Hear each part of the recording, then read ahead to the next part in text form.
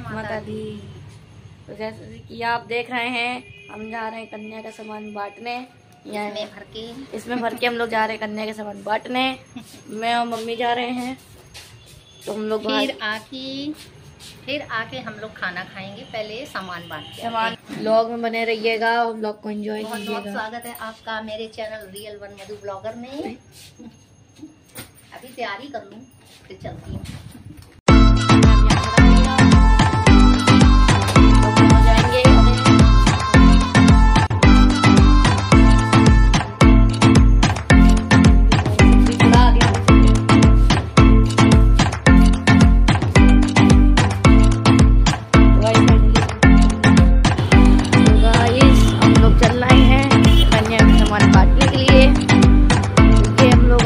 Road पे आ गए तो रोड अच्छी है।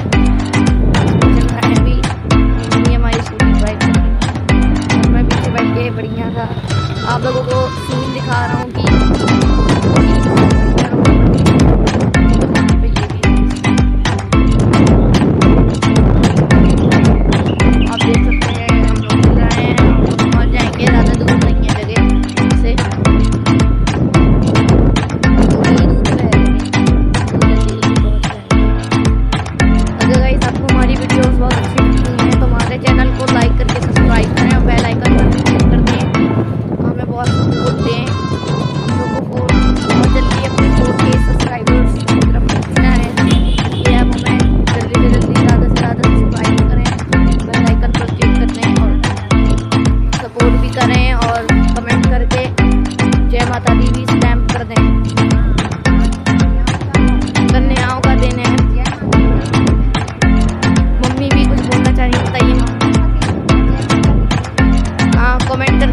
जय माता दी स्पैम कर दें गाइस हम लोग अपनी डेस्टिनेशन पे थोड़ी सी दूर पे हैं लोग पहुँचने वाले हैं।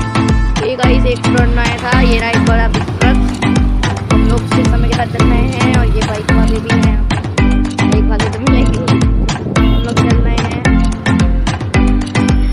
और आप जो ये आपको ये सब ट्रीज दिख रहे हैं गाइस ये आप सबको कैसे लगते हैं, आप हमें कमेंट करके बताएँ।